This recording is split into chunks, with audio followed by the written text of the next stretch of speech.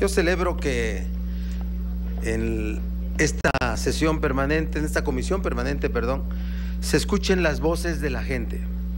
Lo expresado por la diputada de Movimiento Ciudadano, lo dicho por don Manuel Bartley, lo dicho por Cristina Gaitán, habla de eso, que seamos entes vivos, los órganos del Congreso de la Unión, de verdad que sí, ¿eh? y donde los formalismos sean cada vez menores. Yo creo que el, el formalismo y a veces el formalismo parlamentario que si bien es necesario, a veces mata la vivacidad de todo lo que debe ocurrir en las cámaras.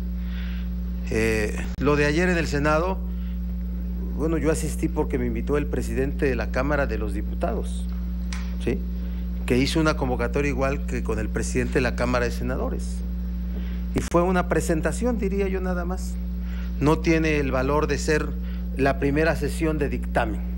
Así es que con esa tranquilidad yo sí espero que en este proceso legislativo de la ley de seguridad interior o lo que se bajo ese concepto, lo que llega a arrojarse, sea un procedimiento cuidado, que no la concentración de las decisiones, el ocultamiento de la toma de decisiones vaya a afectar un eh, producto legislativo tan importante y tan necesario. Así es que, de verdad, es materia de esta Cámara de origen, no del Senado. El Senado tendrá su oportunidad cuando sea Cámara Revisora. Y aquí el procedimiento parlamentario, el que se acuerde, lo va a definir las comisiones de dictamen y la Junta de Coordinación Política con la mesa directiva, no el Senado. En el Senado tomaremos las decisiones respectivas cuando llegue lo que ustedes aprueben. Como lo aprueben, o nos llegará, a lo mejor no nos llegará porque no lo aprueben va a depender del dinamismo y del curso que se tome.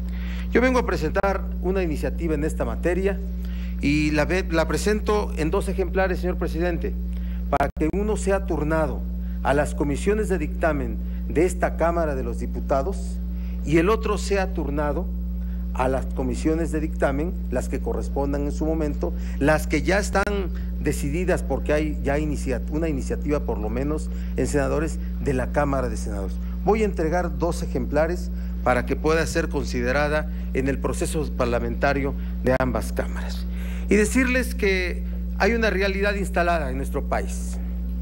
Las policías corrompidas, penetradas, cooptadas por el crimen organizado, poco profesionales, mal pagadas, con ellas no se puede resolver ni enfrentar los problemas de seguridad pública que vive nuestro país.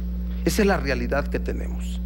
Y hoy el combate al crimen organizado no se puede entender sin la participación del ejército, la Fuerza Armada y, la Fuerza Armada, la Marina Fuerza Armada de México.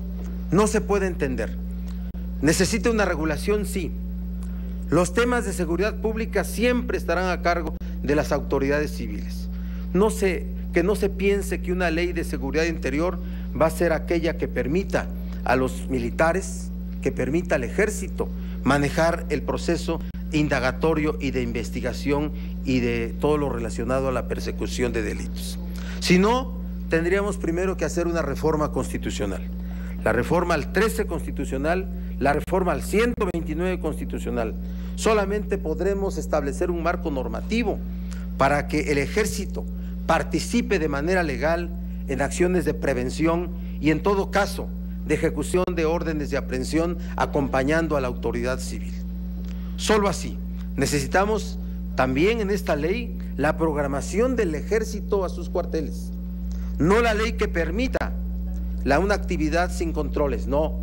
Es la planeación del regreso a sus cuarteles.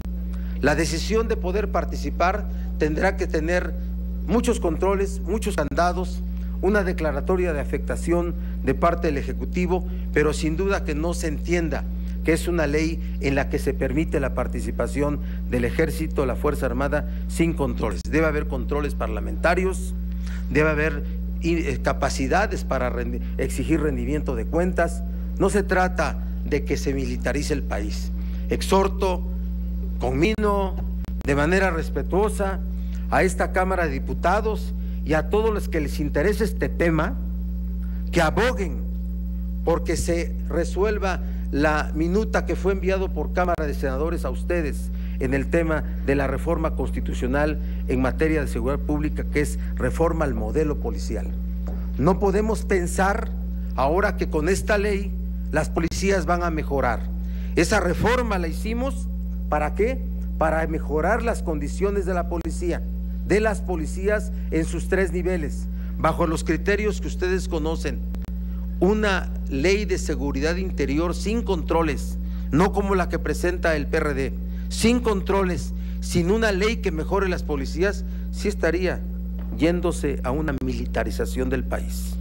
Sí estaría en presencia de una militarización, de una tendencia, porque es dejar a las policías como están, dejarlas como están, en el deterioro que se encuentran y pensar que esta ley va a resolver los problemas de seguridad pública, por lo menos en el marco legal.